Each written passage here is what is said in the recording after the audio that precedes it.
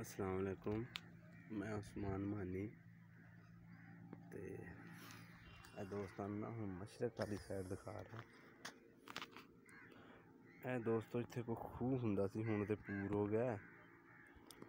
ਤੇ ਬੜਾ ਪੁਰਾਣਾ ਮਕਸਦ। ਇਹ ਵੀ ਕੋਈ ਸ਼ੁਰੂ ਦਾ ਹੀ ਸ਼ਕਲ ਅਖਤਿਆਰ ਹੋਈ ਹੈ ਖੂਹ ਦੀ ਸ਼ੁਰੂ ਦੀ।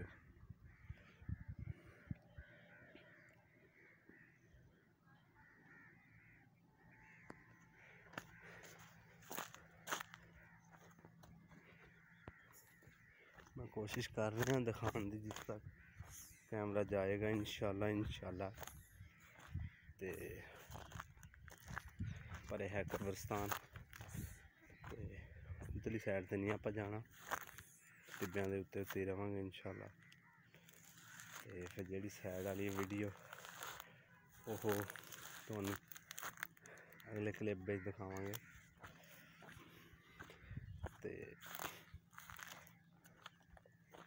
ਇਧਰਲੀ ਸਾਈਡ ਤੁਹਾਨੂੰ ਦਿਖਾ ਰਹੇ ਹਾਂ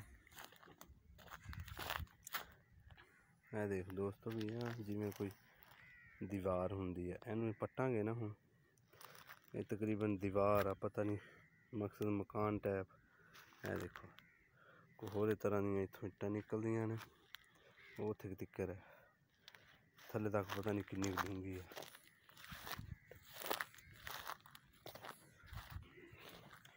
इतने बड़ी आवाम ने कोशिश की थी अभी खजाना है या ते बारिश तो बाद आवाम बहुत इतने इंजॉयमेंट ले जाती है नाले।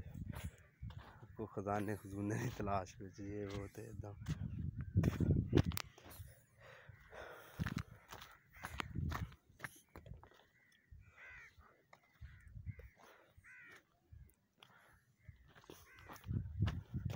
देखो।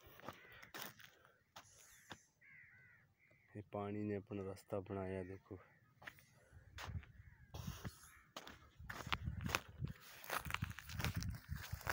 ਇਹ ਦੇਖੋ, ਬਾਰਿਸ਼ ਬੁਰਿਸ਼ ਜੋ ਪੈਂਦੀ ਹੈ ਨਾ, ਉਦੋਂ ਪਾਣੀ ਆ ਜਾਂਦਾ ਹੈ ਵਿੱਚ ਤੇ ਉਹ ਰਸਤਾ ਉਵੇਂ ਉਵੇਂ ਬਣਿਆ ਇਹ ਪਰ ਕਬਰਸਤਾਨ ਹੈ। ਤੇ ਉਹ ਸਾਈਡ ਥੋੜੀ ਰਹਿੰਦੀ ਆ। ਤੇ ਉਹ ਅਗਲੇ ਵਲੌਗ ਵਿੱਚ ਦਿਖਾਵਾਂਗੇ ਵਾਲੇ ਐਪੀਸੋਡ ਦੇ ਵਿੱਚ। ਆ ਦਰਬਾਰ ਆ ਵਾਮ ਆ ਰਹੀ ਹੈ ਜੁਮਰਾਤ ਦਾ ਦਿਨ ਵਾਮ ਮੰਤਾ ਮੰਨੋ। ਬਾਬਾ ਰਾਜਪੇਰ ਸਰਕਾਰ। ਤੇ ਹੁਣ ਜੀ ਆਪਾਂ ਟਿੱਬੇ ਤੋਂ ਥੱਲੇ ਲੈ ਰਹੇ ਹਾਂ।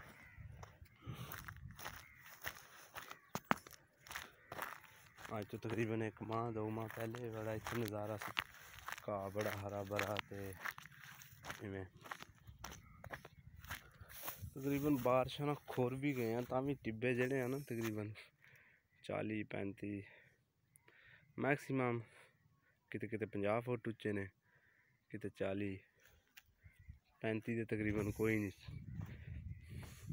थल्ले हैगा। दोस्तों अज इन्ना ही काफ़ी है। अल्लाह हाफिज़ दुआव याद रखे पाकिस्तान जिंदाबाद। उस्मान मानी ने।